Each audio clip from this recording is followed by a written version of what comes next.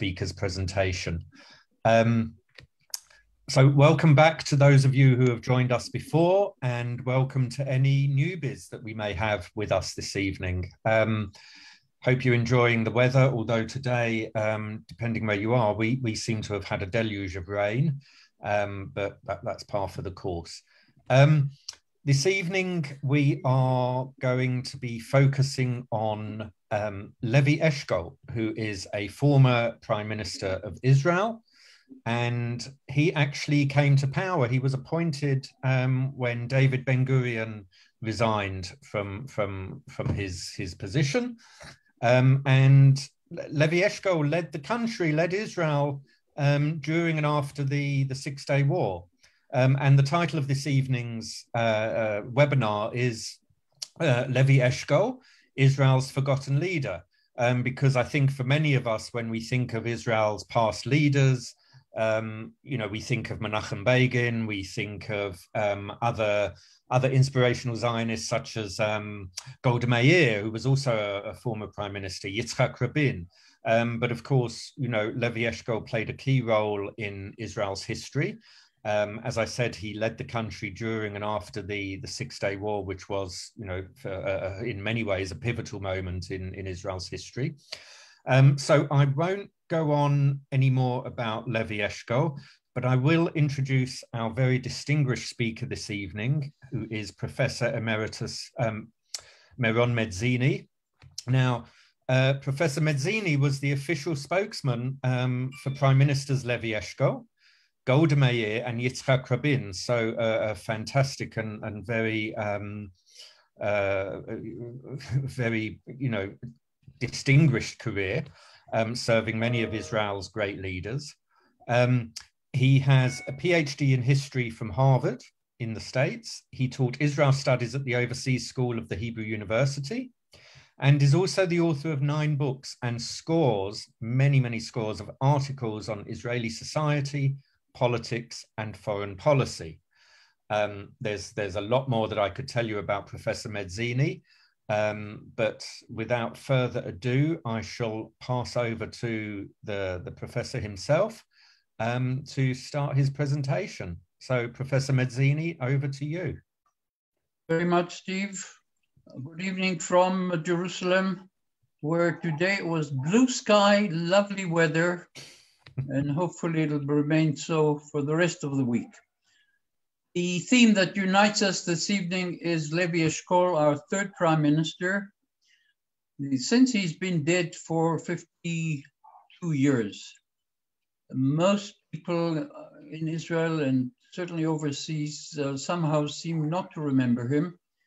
I'll tell you one interesting thing. In most of the polls that were carried out here uh, over the years, who was the best prime minister we ever had. Apart from Ben Gurion, who is a class by himself, Eshkol always ranked number one. The amazing thing is that the most after 1969 don't seem to remember him. He was our prime minister during the Six Day War, which changed the face of Israel. Therefore, I think uh, he deserves to be remembered. He deserves to be analyzed. Uh, he was basically a very good man, a very decent man. And some memories uh, with uh, you on Levi Eshkol. He was born in Russia, 1894, a place called Oratova. He grew up there. The language that he spoke uh, fluently was Yiddish though he did know some Russian. Later on, he learned some English. He had a smattering of German, but Yiddish was his, his language. And uh, he was the master of jokes in Yiddish, uh, most of which I did not understand, but judging from people who knew Yiddish, they were roaring on the floor. He was a very funny man. He had a wonderful sense of humor. At high school.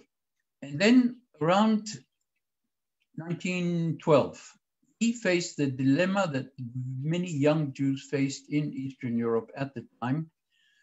Pogroms, anti-Semitism, uh, numerous classes, inability to go to university, fear of being drafted to the Tsarist army. And therefore, these young people faced about first one, if you thought about that. Second was to assimilate. The third was to become a Zionist. The fourth was to become a socialist. Another option was to become a Zionist socialist. You could also join a Russian revolutionary movement. In fact, most of the leaders of the Bolshevik party were Jews, led by Trotsky and many others. You could also immigrate. And two and a half million Jews went to America, Canada, Australia, a few went to South Africa uh, between 1882 and 1914. The last option was to immigrate here to Palestine. 40,000 people did this, and they are known as the second Aliyah. Second Aliyah from around 1904 to 1914 to the eve of the First World War. 40,000 came, the majority left. Those who remained are responsible for Israel. Among them, Ben Gurion, Berl Katzenelson, Ben Tzvi, uh, Eshkol, Shazar. Uh, the second Aliyah is responsible in our history for quite a few achievements. Jewish labor, Jewish self-defense, the creation of Tel Aviv, the creation of what eventually became the trade union, Federation of Labor, revival of Hebrew. In other words, they really laid the foundation for the future uh, Jewish state. Eshkol just missed it uh, because he came when he was 20. And the first thing he did was to find work as an agricultural worker. Man, he was a good worker. He not uh, didn't feel that any job was beneath him, and he became quite adept at uh, agricultural work pretty soon it became obvious that he is not only a good worker, he's also a first-class organizer. And he is a first-class leader. He knows how to inspire people. He assumes responsibility. He's prepared upon himself virtually any position offered to him. And the traits that more or less marked him, the man of compromise, he was never a man of extremes. He was not a moody man. There were no ups and downs. Ben Gurion, in certain respects, was moody. Begin was moody. Uh, he was straightforward. He had very little charisma, but he made up for it by many other traits. I suppose the best word to uh, to define him is in Yiddish, called a mensch. He's a, he's a decent human, uh, human being. He's a nice fellow, you could trust him. He liked to have schnapps, he liked women, he liked a good joke, he, he liked a good life. But he was always dedicated to Zionism, to socialism, to building a new society in, uh, in Israel, something that he did and did extremely well. Like Ben Gurion, Ben Tzvi, who were expelled by the Ottomans uh, during the First World War, he remained and in 1917 joined the Jewish Legion. Ben Gurion was also there. I think he rose to the great uh, rank of corporal, but then one evening he came late uh, back to base from a meeting and he was demoted to lance corporal. Professor Medzini, sorry, sorry to interrupt you. Um, could you please speak a little bit louder? Um, Can you hear me now? Yes, that's a, that's a lot better. Thank you. Is this better now? Yes, it is. Thank you. His military career basically ended with being a lance corporal in the Jewish Legion. In 1920, he was among the founders of the Histadrut, the trade union uh, movement and uh, the trade union federation here, and he also joined the kibbutz. Kibbutz Dgania would now become his home, his base. This is where his family lived. And there, the kibbutz looked after his basic needs and basic expenses. And from the kibbutz, he would sally into town to undertake various missions for the party and for the movement. He was a member of the Poale Zion movement and soon assumed For example, he was sent to Europe to acquire weapons for the Haganah, the underground organization. He became a major figure in the Haganah, dealing predominantly with finances, with budgets, uh, with uh, acquisition of uh, arms. He was sent abroad to raise funds, and he was very good at it. Uh, I'm using mostly Yiddish. Uh, he was sent to Central Europe, he was sent to uh, Eastern Europe. In 1930, he was among the founders of Mapai, the leading Labour Party, which was in power in Israel from 1935 until the Begin uh, revolution of 1977. And I imagine by about 1935, 36, you could say that he was among the 10 top leaders in this uh, party, the Socialist Party. And the people looked upon him as someone reliable, someone trustworthy, someone who doesn't lie, someone who is prepared to undertake all sorts of responsibilities and carry them, um, them, all of them out extremely well. And therefore, he was, became an extremely popular man. And uh, as a result, additional tasks were uh, given to him. For example, he was one of the founders of the water company, Mekorot, uh, established in 1937.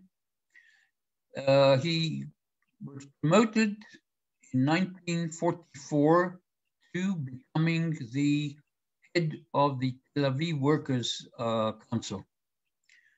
Uh, Tel Aviv being then already a city of about uh, 200,000 people and uh, quite a few institutions, quite a few workers. The feeling was that here is a man who could handle the situation. One of his deputies was Golda Meir.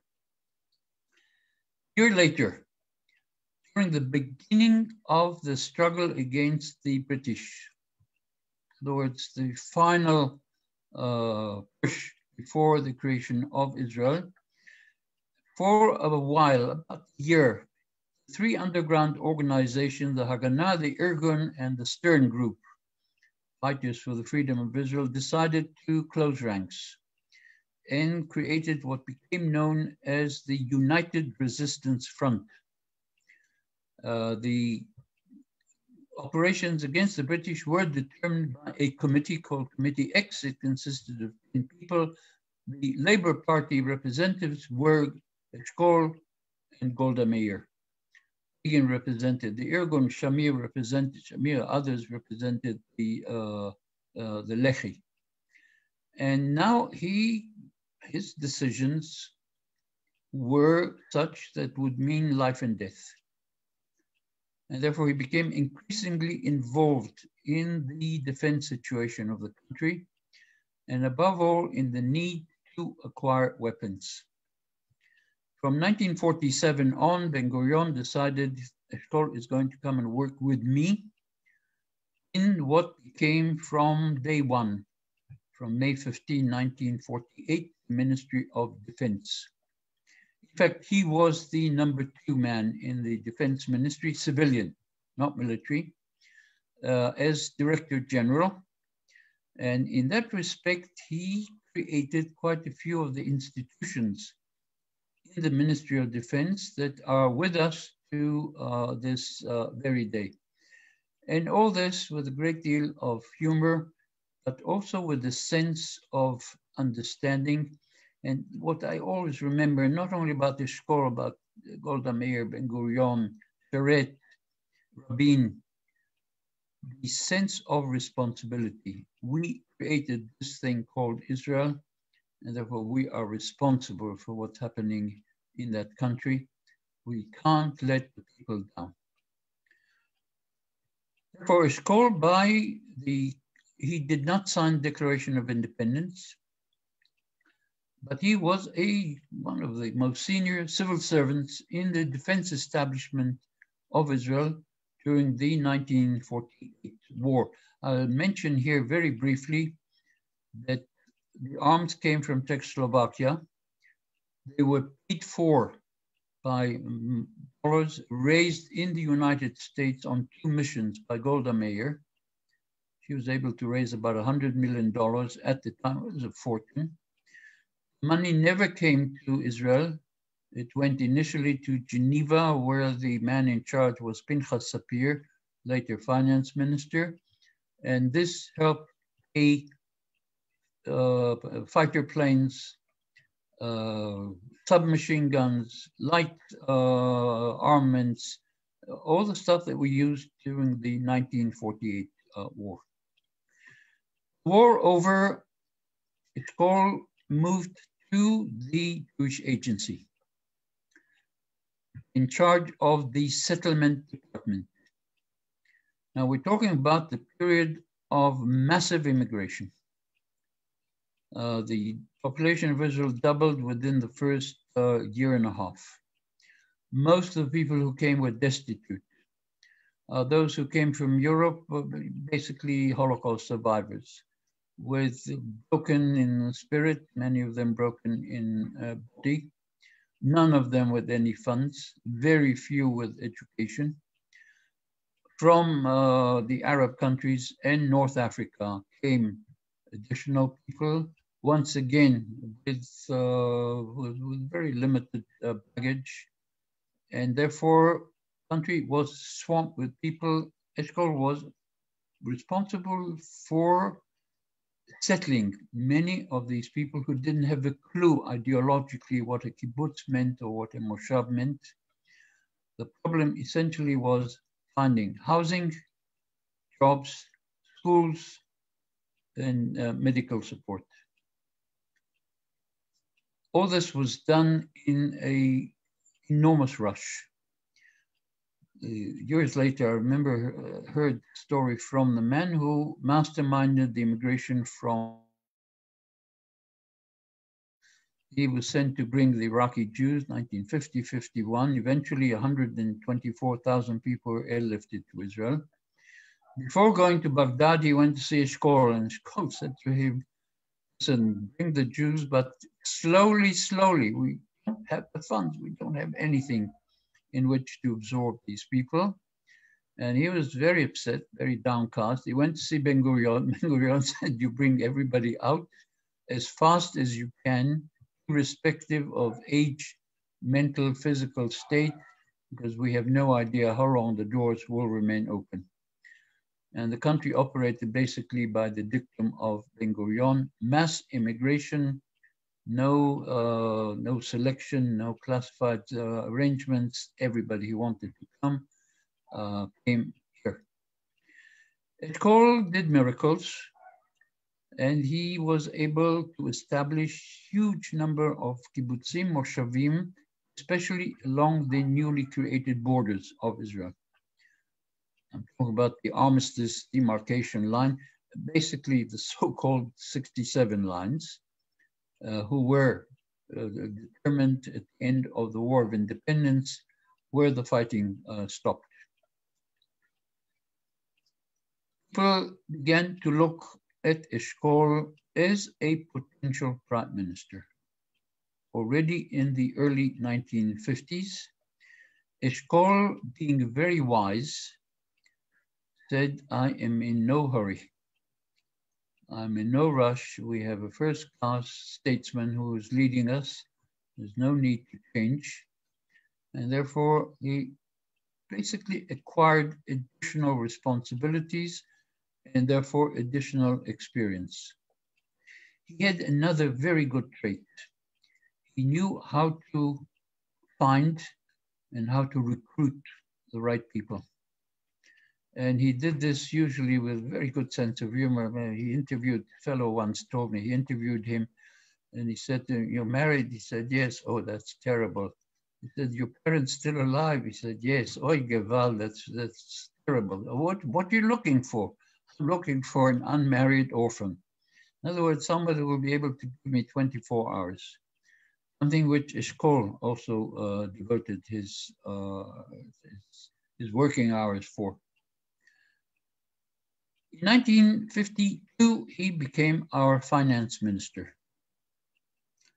The country was on the brink of uh, bankruptcy. He was saved at some point by the time difference between New York and San Francisco. We were able to get a loan in San Francisco and the three hour difference, able to pay this loan to a bank in New York and, and uh, avoid bankruptcy. The German reparations were not yet signed. They would be signed in September 52, and they would start coming to Israel only after 1954. And the country was virtually on the edge, on the brink of bankruptcy in massive immigration. And Eshkol had to devise a budget. Uh, you may be surprised to learn that at the time, 40% of the budget of the state of Israel was United Jewish Appeal money, some of it uh, JIA, Joint Israel Appeal. Then, by the way, it was called Joint Palestine Appeal. Uh, became GIA a bit later. Uh, money contributed by Jews overseas, 40% of the budget. Today, I think it's less than 1%. Now, where we've gone through a major revolution, and Eshkol had to maneuver. And he did quite well various reforms.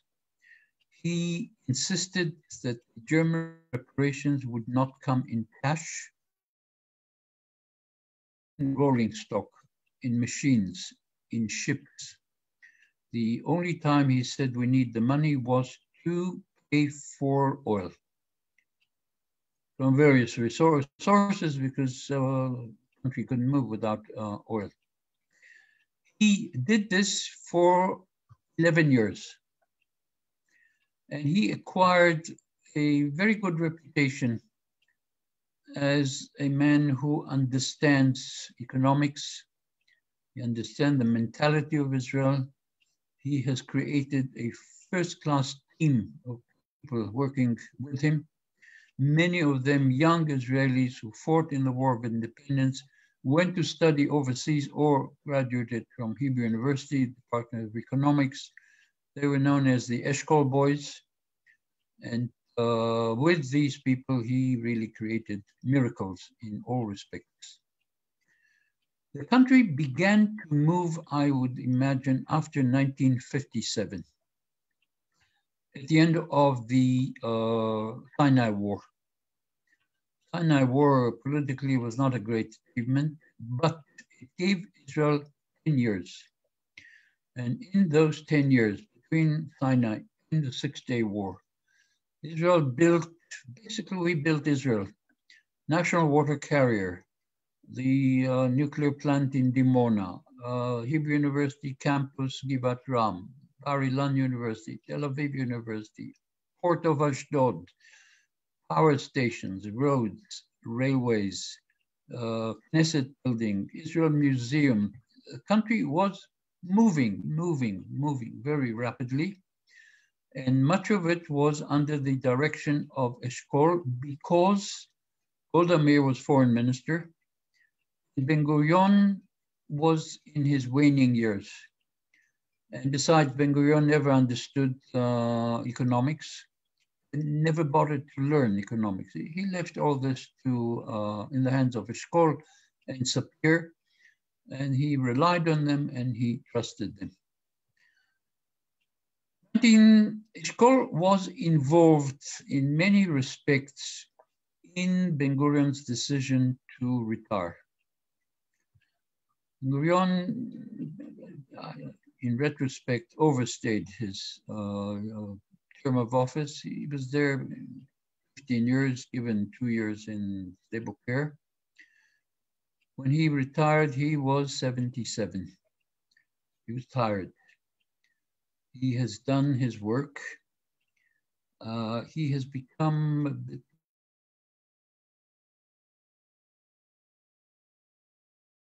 succession. Who was going to succeed Ben Gurion? Will it be the middle ranked people, Eshkol, Golda Meir, Sapir, Aran, who were 10 years younger than Ben Gurion, 15 years younger? Or would it be the next generation? Shimon Peres, Moshe Dayan, Yigal Allon, people who, uh, like Dayan Allon, who were born here in this country and were did very well in the army. The decision of Ben Gurion essentially was to uh, install Eshkol. And Eshkol hesitated. He understood that moving into the shoes of Ben Gurion would be a major problem. Uh, I'm still old enough to remember when Churchill handed over to Anthony Eden, and, and that was a disaster. The one who succeeded uh, Eden, Macmillan, he did extremely well. Same thing happened in Germany, by the way, uh, after Adenauer.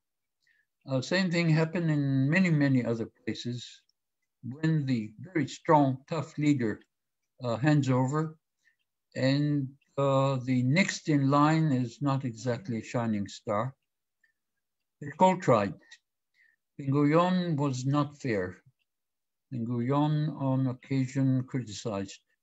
He may have thought that Eshkol was not deferring enough to him, that he would still give the orders from his kibbutz in the Negev, but this would not be the case. And the Eshkol slowly, slowly began to assert his personality and his way of working. Eshkol took over not only as prime minister, but also as defense minister. And he is credited with preparing the Israel Defense Forces for the next test, which would be the Six Day War. And uh, he basically gave them whatever they wanted. And he was good at acquiring weapons under him, a deal was made with America, where America slowly, slowly emerged as Israel's major arms supplier. Until then, it was France. Americans began to sell tanks, and then there would be airplanes, jet fighters, and other type of equipment. He did extremely well with, um, he got along extremely well with Lyndon Johnson, there was also a very good meeting with Gaulle in Paris in 1964. Eshkol traveled to Africa at one point to meet uh, leaders oh. of uh, that uh, uh continent. Uh, he was acquiring a reputation as an international figure. In 1966, problems. The Israeli economy was overheated and there was a need to cool it off. Something went wrong and we entered a recession. Percent of Israelis were unemployed, and for us, it's a disaster. The PLO was established. The neighboring Arab countries realized suddenly that here Israel, a country that was sworn to uh, annihilate, was doing quite well. Under Eshkol, Israel became an associate member of the European Economic uh, Community. The country was prospering. Uh, there were all sorts of rumors that Israel had access, or at least knew how to acquire nuclear weapons. And there was growing fear in the Arab world that if we don't hit them now, uh, we it may be too late. Things began to move at the beginning of 1967. to this very day, I cannot tell you for sure what led, what was the trigger that led to the Six-Day War. And, and that war I remember very well. That not only was I with the prime minister, but also as part of the army spokesman unit the military intelligence produced a assessment I read, I remember, in April 1967, and their assessment was war, yes, maybe 70, 71. In other words, they said we've got three, four years to go. Uh, they were wrong. And uh, we were at war six, seven weeks later. But it was a good war, so there were no commissions of inquiry. But uh, in April 67, we were more or less uh, relaxed. There's no war on the horizon. And suddenly, May 14, the whole thing turned around. The Egyptians, within 10 days, probably at the suggestion or the encouragement of the Russians, broke the Sinai War. Overnight, it filled up Sinai with 100,000 troops, about 1,000 tanks, similar number of pieces of artillery. Then came the demand that the United Nations emergency force that was a buffer between us and the Egyptians would be evacuated. The UN agreed, huge mistake. And the last thing they did was to reimpose the naval blockade on the Straits of Tiran, leading uh, our, our, shipping lane to Eilat, which was uh, our southern port, the gateway to Asia and Africa. Cole realized in on that day when Nasser proclaimed the naval blockade, remember five in the morning, he said, children, kinderlach, this is war. Then understood that if we don't want a repeat of 56, namely we would occupy territory and then we'd be kicked out by the Americans and the Russians separately or together, which is what happened in 56, 57. And for him, the most important thing not only was to secure weapons, but to ensure that if Israel fights, it'll have the time. And above all, the results of the war will not be like the results of uh, the Sinai War. We are all living under this the shadow of how the Sinai War ended. The problem was that Eshkol was not a, a charismatic figure.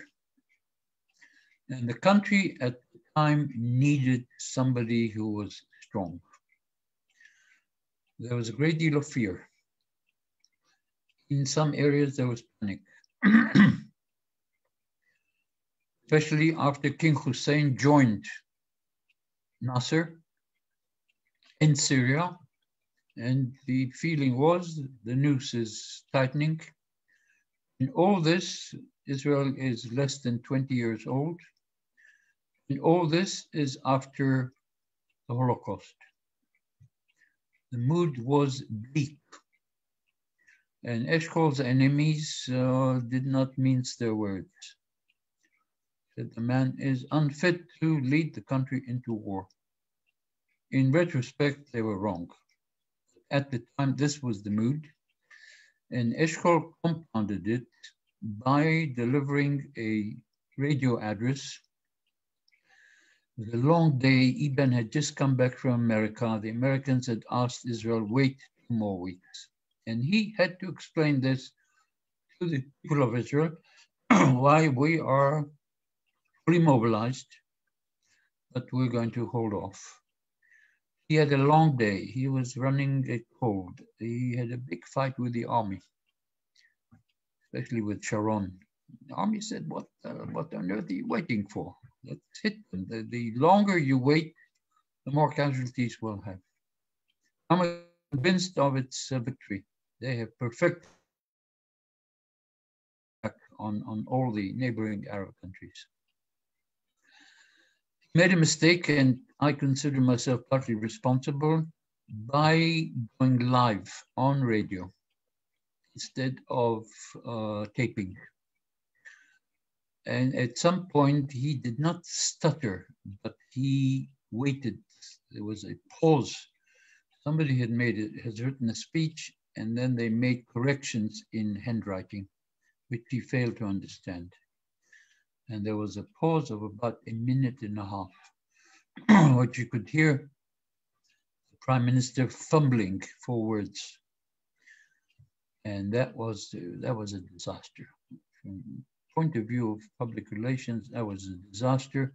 And the demand that he at least be replaced as defense minister grew and eventually led to uh, Dayan assuming the role of defense minister. The only labor leader who said there's no need for Dayan was Golda Meir. In retrospect, she was right. But at the time, the feeling was we need the strong hands, the experienced hands, the charismatic, uh, dashing figure of uh, Moshe Dayan. Moshe Dayan took over. A government of national unity was created, including Menachem Begin. Final decision was made to send somebody to Washington, the head of the Mossad. And he was Meir Amit. He was said he was told, look, find out what are their intentions. We we can't hang on like this three weeks. The Israeli economy was on the verge of collapse. Can't do this. He went off and he said to the Americans, what are your plans? Are you going to do something? He said, no.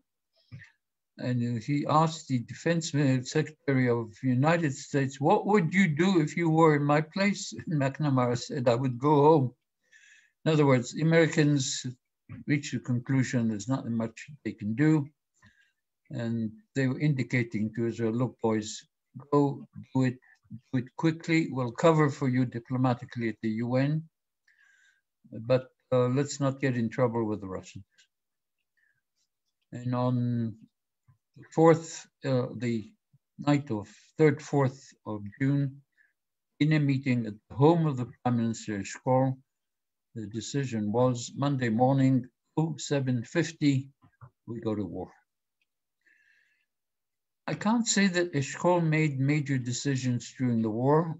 There was no need. The decisions were made in advance by the army, Rabin, and the generals. Dayan gave them certain instructions. Dayan did not make radical changes. And but Israel won the war essentially in the first three hours, uh, two hours and 50 minutes by a aerial attacks on the air forces of Iraq. Then came the war itself. There, Eshkol made one major decision at the behest of Begin and Alon, we take Jerusalem. Dayan was not that keen. He used the term, who needs another Vatican? The decision was we also go for Jerusalem. King Hussein joined the war. He was asked not to join the war. And the war was over in six days. It was over because Israel occupied most of the Golan Heights. Was over because the Russians issued an ultimatum through the Americans, if you don't stop, we come in. And uh, Israel had no interest in fighting the Russians. And therefore, Saturday afternoon, the war was over. Israel had won an enormous victory. Tragedy was that the credit went to Dayan, Rabin, the generals, not to Eshkol. By then, Eshkol was a broken man. He, he was sick. He had heart attack, beginning of cancer. Uh, but above all, the feeling was that he prepared the army, he prepared the diplomacy, he prepared the background for all this. And here the country goes for younger heroes, the army. His health deteriorated. I remember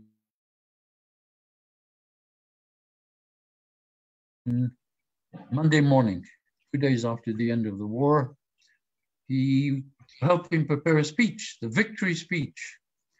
And he looked at us, I remember he slumped in his chair, said, Eshkol, what's the matter with you? And he looked at his Kinderlach children. What are we going to do with all that? And we said to him, What are you talking about? We won a huge victory. Well, he knew exactly what he was talking about because to this very day, we're not sure what we're going to do with all that. Part of the tragedy was that he was not in health mood to make a decision what Israel was going to do.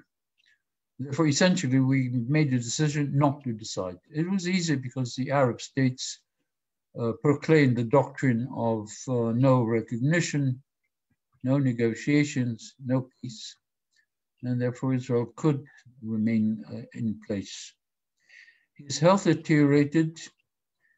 Two years before he died, Golda Meir was told by Labour Party leaders, you better prepare yourself because the man's his days are numbered.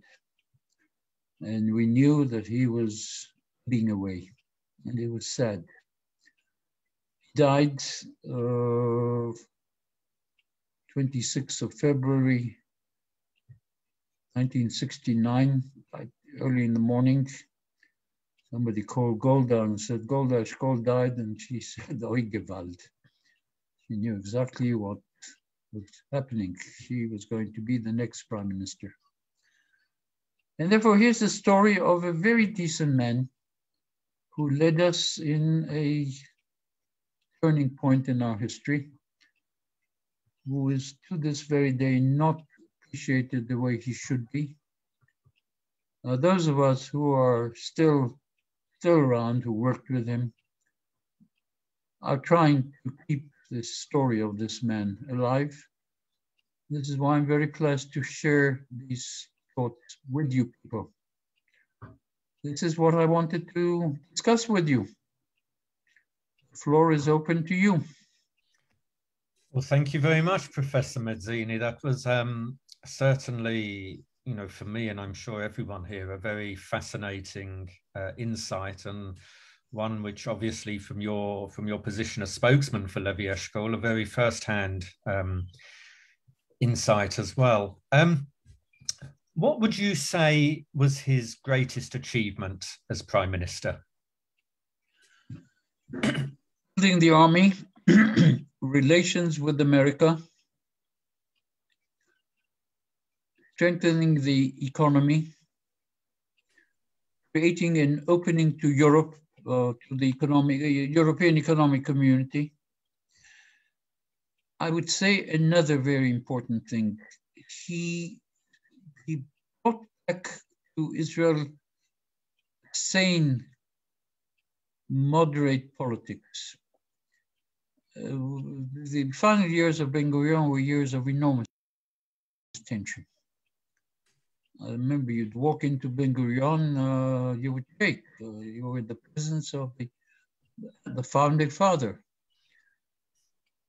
One of my students once asked me years ago, uh, did you know Ben Gurion? I said, yes, he was my minister for a year and I worked for him. And you know, I heard him go to his buddies and say to him, you see this guy, he worked for George Washington. Well, Ben Gurion was George Washington, Eshkol was not. But he restored sense of direction, sense of purpose, doing it nicely, quietly, no uh, no blaring with the shofars, and uh, for this we are very grateful to him.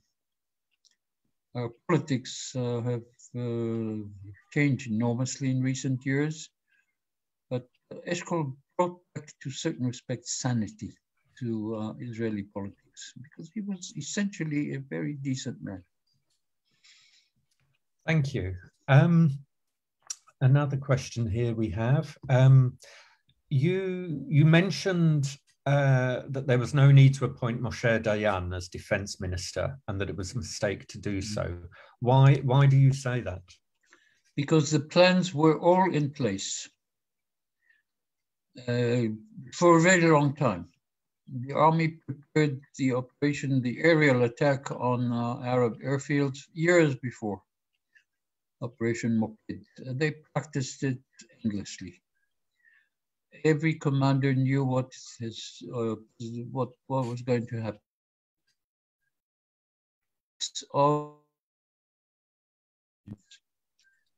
In other words, the Egyptians started moving May 14. We uh, launched a preemptive strike on June 5th. And therefore, we had three weeks in order to prepare the, uh, the reserves. Mm-hmm.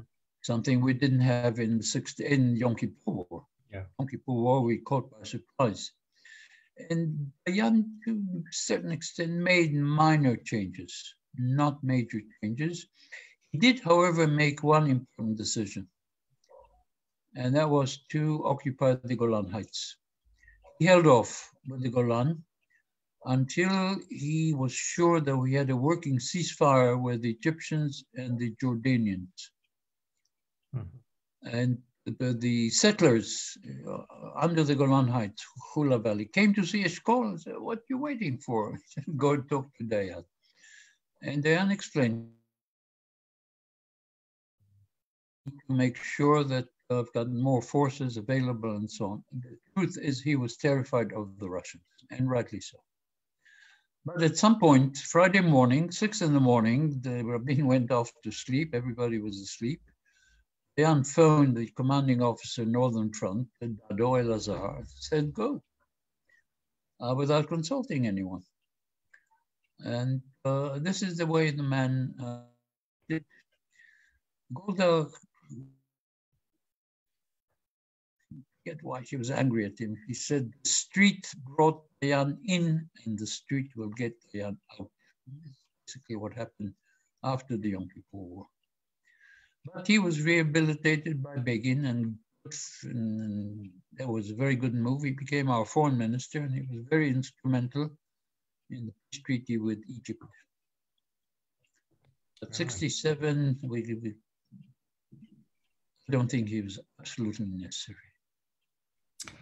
Okay, thank you. Um, we've got some more questions coming in here. Um, I'm just going to ask one of my own. Um, you know, the, the very title of this of this presentation has been um, Levi Eshkol, Israel's forgotten leader. Um, considering his his many achievements, why do you think that he that he has become a forgotten leader? Why do you think that he didn't become well known as or as well known as as people like Ben Gurion? For example? Because of his uh, the nature of the man. Uh, I can't say, for example,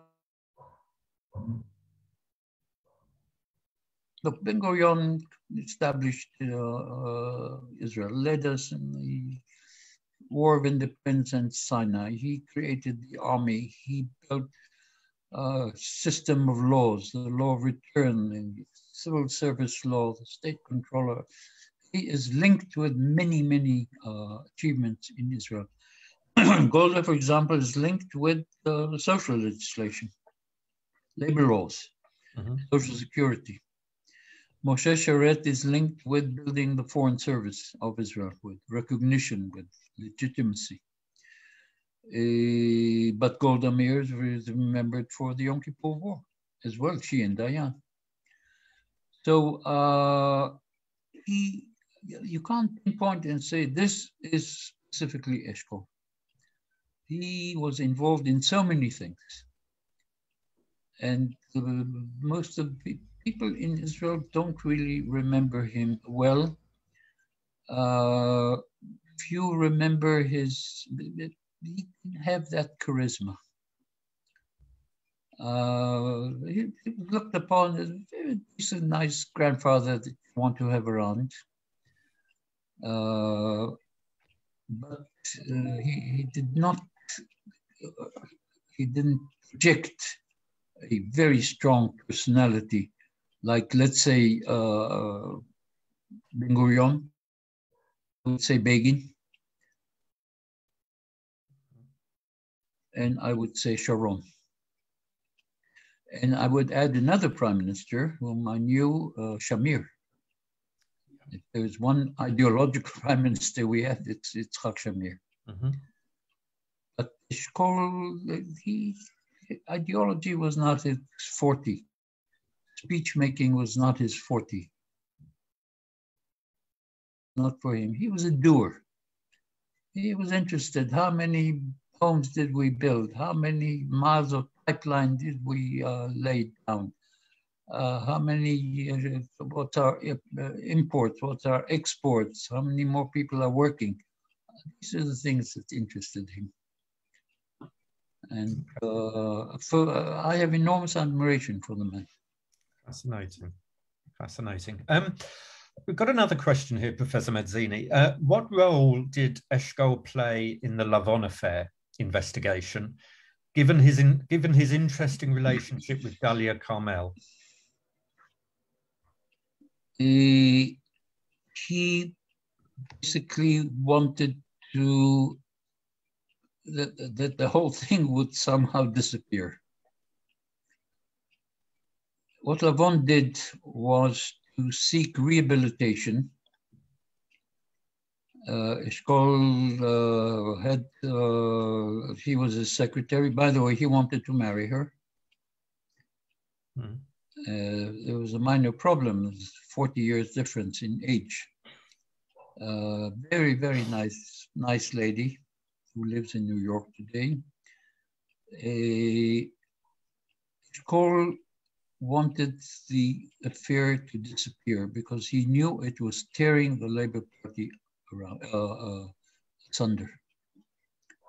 Right. Ben Gurion, why did Ben Gurion insist? Because Ben Gurion wanted to keep the army out of uh, these dirty tricks.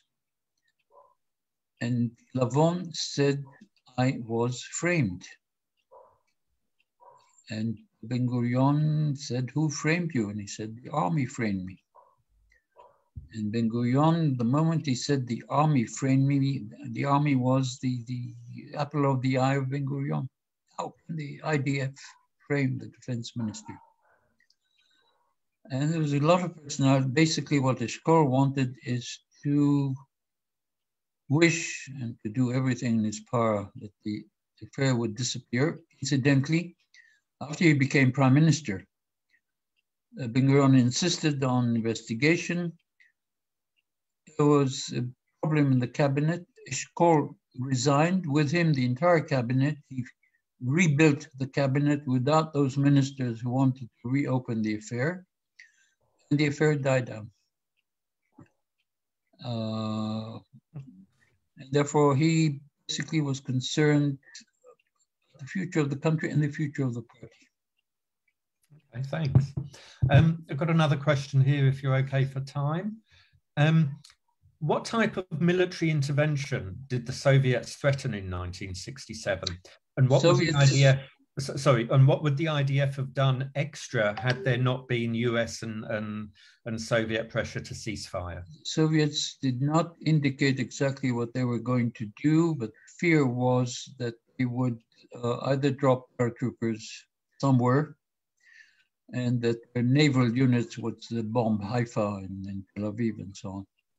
They never told the Americans exactly what we're going to do. Incidentally, something similar happened during the Yom Kippur War as well. Yeah.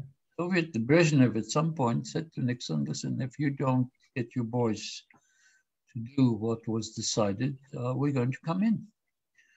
And in fact, they mobilized uh, paratroopers in Hungary that were supposed to jump into Sinai.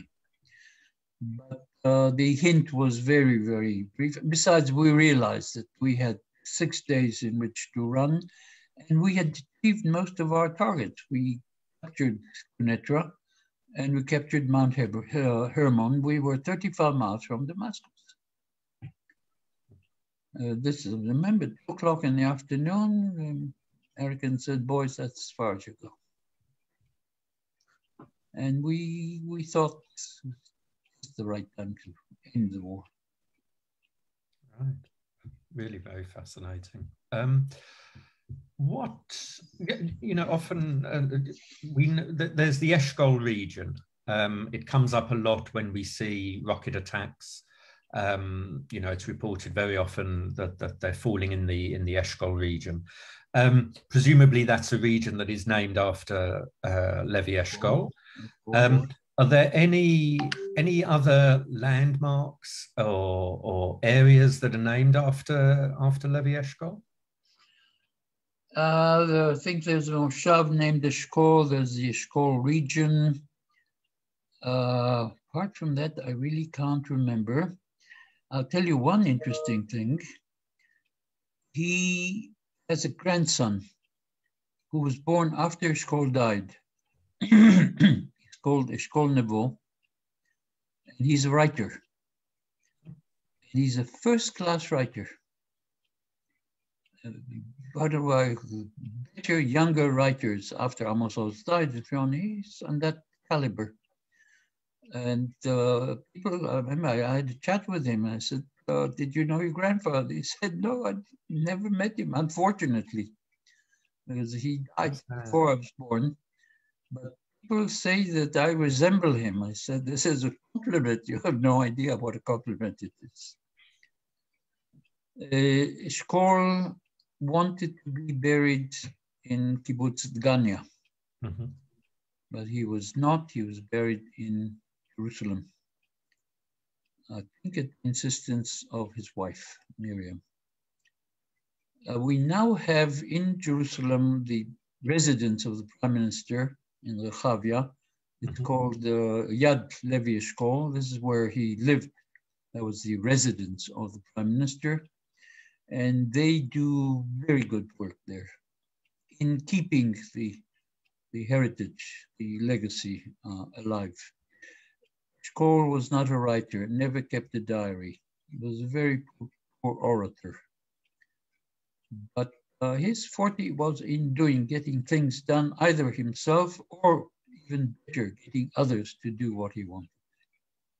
In all in a spirit of goodwill and very good humor.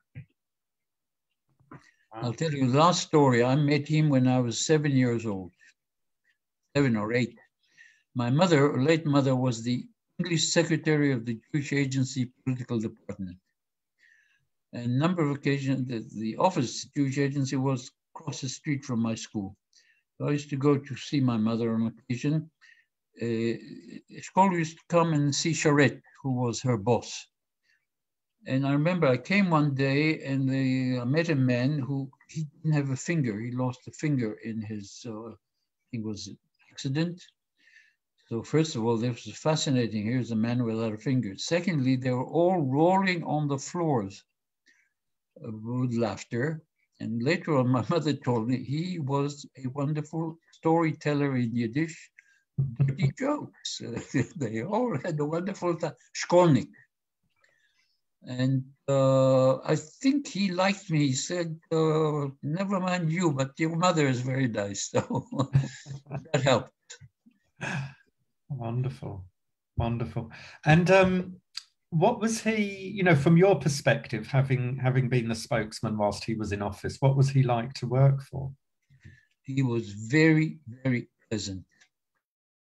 In the morning, I would come and look at me and say, "Wie bin ich?" Where am I? In other words, so what's being written on me? Uh, but he was not that sensitive. It is true he had his own two or three uh, political reporters with whom he conversed about uh, every day at about six in the morning, all in Yiddish, of course. And he was their major source. And uh, he told me once, listen, I tell them stories, but I know when I say to them, this is off the record, not for attribution, attribution, they will do it. And he was right. He was absolutely right in uh, all this. The trouble is that on the eve of the six of the Yom Kippur, uh, Six Day War, he did not get the press. He got a very negative press. There's not much we could do about it. And that radio broadcast uh, was a disaster. I'm still eating myself to this very day. I could have spared him a lot of heartache. He didn't deserve. It.